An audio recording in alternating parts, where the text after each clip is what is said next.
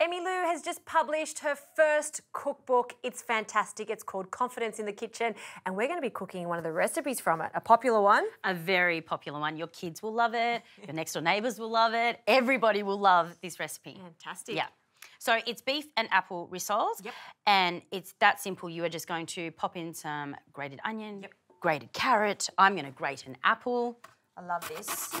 And I think there's a lot of mums and dads out there that are going to love this too because it's hiding the vegetables and fruit in the meat. Exactly. And there's nothing better than using, I know this is awful, an old carrot that's been sitting down on the bottom of the veggie box or an apple um, that is slowly starting to get soft. This is perfect for that, using up those veggies. That that is it's not a bad thing to say at all. In fact, I want you to tell people that because there's so much wastage out there. Don't waste it. Grate it. Hide it. You're getting your nutrients in there, and also it's giving this meat extra flavour. Oh, 100%. And the apple it goes so well with the beef. You'll actually so, love this so much. Yeah, that's so interesting. I've, I've actually never tried this. That's, that's why when I was looking through your book, I'm like, ooh, apple rissoles. Why not apple and beef rissoles? It's almost like you're giving it a bit of a, you know, applesauce flavour there. Exactly. And it's it's weird. You don't taste it as such, but it does give it a sweetness and a bit of a juiciness as mm, well. very So nice. I'm going to add in the grated apple. Get all of that juice as well. Don't be afraid of that. I love how you're navigating around these incredible nails. Everybody, have a look at these nails. Emmy Oh, hang on, let me get them. Let, let me get them show ready. And then look at mine. well, I've got to do something about this, don't I? But someone, uh, I clearly don't take my cooking very seriously, do I? I no, in my defence though, they're for an event. That's not normal. Don't judge me. I'm, I'm, I'm judging myself for not having nice nails. so one egg to bind all this together. Yes, that's all you need. Okay. I am going to add some salt and pepper to that at the same time. Yep. And a nice little hint of salt here because you do have that sweetness of the apple. So you want a nice little um, pinch of it and then some pepper. And shall I get my hands in there? Yeah, if you want to. And then I'm going to show you a little trick on how to uh, just kind of almost uh, bind it even just that little bit more. Okay. So, you know, you can use starches, flours, you can even add a breadcrumb to that mix. With this one, you don't need to. Okay. You've got that one egg to bind it. Yep. And once we get it all together, Yep. I'm going to show you a little, a little something. It'll take the frustration out of your day, but it'll also help make the most juiciest, firmest rissoles. Okay, well, there you go. All right. So we've got our mixture. It's all mixed. We're going to scoop up a little bit, depending on how you want it. Yep. And then we're going to form it into a shape.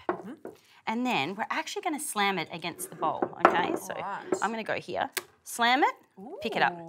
Slam it, pick it up. And all that is doing is knocking out that excess air Yep. uh, out of the rissole. It's going to give you a firmer, juicier rissole. Yep. And then shape it again. And then you're going to Oh, roll it beautiful. into your breadcrumb. It's a great idea, particularly with all those vegetables and, and fruit in there. It mm. can sort of loosen up. So by just doing that, Yeah. you're working it and making it quite sticky. What a Exactly. great idea.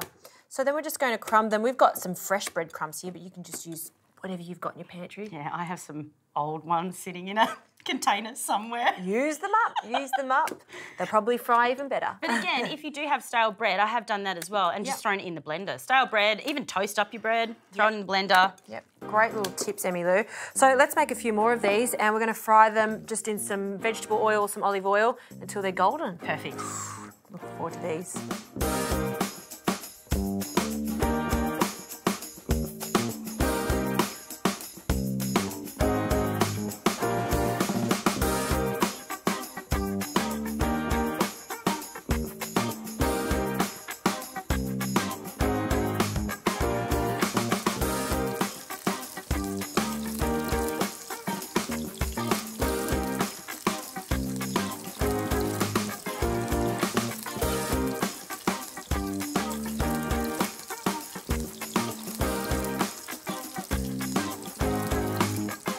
Lou, these look delightful. Oh, they look so golden and crispy, and they smell beautiful as well. And they're cooked all the way through.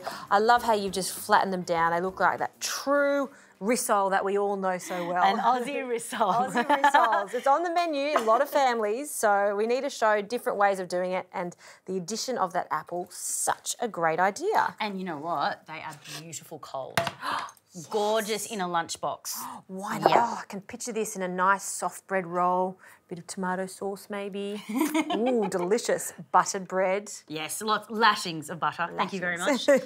I'll put two on here. Mm-hmm. One for you, one for me. Oh yeah. Ooh. that. is beautiful. This is a good portioning here. This is actually quite a healthy dish here. Big salad, a few little rissoles, Just easy. Yeah. Easy and delicious and mm. really budget friendly as well. And that's very important. Totally. Shall we have a taste? Yes. Okay. One Thank for you. One for me. All right, let's cut into these. Are we, sharing the same recipe? Oh, why not? I just love that crispy edge bit right there. Mm. Mm. that is so good. I love that apple. I'm going to do that with my rissoles now. Oh, Yeah. your baby boy will love this. He's going to love that. That's on the menu tonight. I'm gonna put a little bit of lemon on there. Oh, Just adds even better. Feel like the gift that keeps on giving. I'm the gift that keeps on eating, that's for sure. Thank you. Thank you. Mm, Delightful.